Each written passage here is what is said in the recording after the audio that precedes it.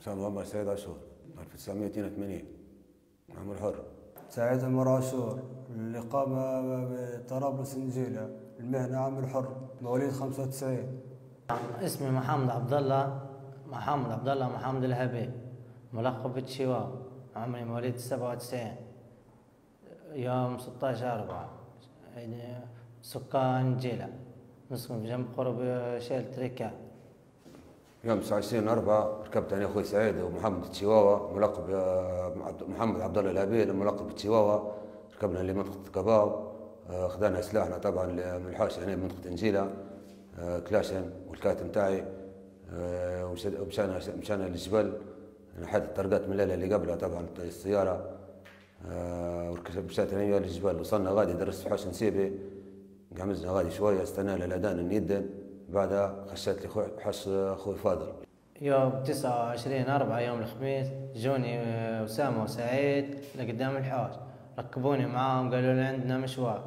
في الطريق أسامة قال لي آه، بنقتل أخوي فاضل على الموضوع على موضوع أمي والورد. وصلنا لمدينة كاباو قبل المغرب واتجهنا لحوش نسيبة يوم تسعة وعشرين أربعة الموافق يوم الخميس الساعة أربعة آه، العصر. ركب آه، جاني جا أسامة أخوي قال لي جيب سلاحك واركب معي. قلت له علاش؟ قال لي جيب ما تكترش معي الدواء. وفي مشاكل نمشوا لفاضل للجبل. طلعنا من الحوش أنا وأسامة بعد ما جاب سلاح أسامة طلعنا من حوشنا مشى لمحمد تشيواوا هذا. ركبه معنا محمد تشيواوا ركبه معنا. قال له هو ماشي رفع قال له ماشي للجبل عندي أمانة وبنجيبه وبنجي.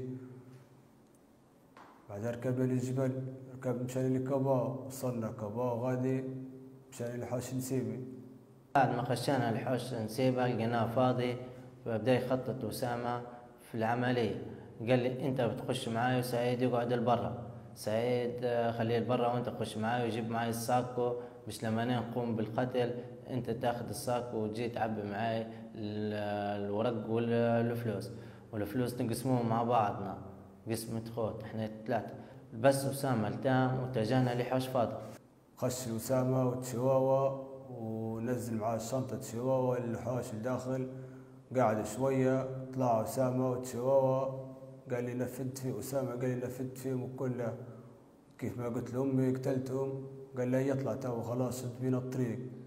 وصلنا قدام حوش فاضل نزل له أسامة قال لي هي انزل معي. نزلت أنا بالساكو وسعيد قعدت بعيد على الحوش. نزل خشينا خش أسامة لداخل الحوش وأنا قعدت فوق مزقيفة. سمعت صوت رماية خفيفة لأن الكلاش بركب له كاتب صوت. سمعت رماية خفيفة ونسمع في حد يقول لا إله إلا الله لا إله إلا الله. ثم طلعت البنت تجري شبحتني شبحتني واقف قدام سقيفة وولت البنت. مولي سمعت صوت رماية خفيفة انها كتم صوت. طلع لي أسامة قال لي هيا بسرعة أطلع أطلع ترناه بسرعة. نادي سعيد. طلعت قعدت النادي في سعيد جاء سعيد وركبنا أنا وأسامة ركبنا أنا وأسامة مع سعيد وطلعنا من بالسيارة من قدام حوش فاطمة وصلت قدام حوش فاضل خشيت أنا ومحمد شواوا آه، محمد طبعا عنده الساكو خليت سعيد خوي في السيارة. سلاحه خشيت آه، الحوش لقيت فاضل وابوي وولده والعيله بتاعي يفطروا رميت على فاضل ورميت على ولده وعلى مرته جات طالع بنت الصغيرة جت تضرب رميت عليها بعد الكوجينه بعد ما مرت الكوجينه ناض بو يعيط قلت له محمد اي نور؟ مشات ركبنا السيارة وهرب وصلنا الكريمية آه، نحات السلفر أنا وسعيد ومحمد تشيواوا وركبنا الطرقات. ومشينا لحوش تشيواوا دسينا السيارة غادي دس أسامة السيارة في حوش تشيواوا وفصل السلاح وتشيواوا قاعد في حوشهم وحنا مشينا لحوشنا روحنا. درسنا غادي طبعا في السلاح سكرت درسنا غادي مشات محمد روح إحنا روحنا. بعدين طلعت أنا واخوي سعيد تم ضبطنا في منطقة عين زارة حطوا لي السيارة وفيها سلاح وقالوا لي خلاها عندك وتونا ارفع قعدت قعدت في الحوش أنا بقرب الحوش لين جو قبضوا علي.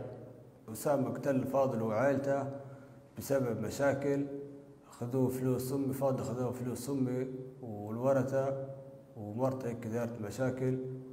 وقف أسامة قال لي كيف ما مات؟ أمي دي ننتقم منهم حتى يعني بنقتلهم ما بتمشيش أمك. أمي توفت شهر 12 بسبب المشاكل بتاع الورثة جت لأجل تتوفت السبب مشاركتي في الجريمة أسامة صاحبي وعرض علي فلوس وأنا طمعت معه في الفلوس ومشيت معه الجريمة. نعرف أنا أسامة إنه بيقتل العيلة ومن ضمنهم الصغار وما قدرتش نكلمه إنه مغلول بياخد تار أمه والورث تاع أمه وسام قاصد بقتل عائلة فاضل وعائلته وصغاره بسبب أكلوا حق أمي وقتلاه أنا درت الجريمة أنه فاضل خان بفلوس أمي وفي مشاكل عائلية بين فاضل ومرته وأمي وأمي ماتت قلت بنتقم من الموضوع هو موضوع ماتت أمي. سبب قتل الأطفال الأطفال تاع فاضل انتقام من فاضل ومرته بسبب ما داروا في أمي. أنا تخطط لجريمه آه، طبعا كنت صايم. وما عنديش اخذت لا مخدرات ولا أي معتقدات عقلية. آه، لكن انتقام الوالدة.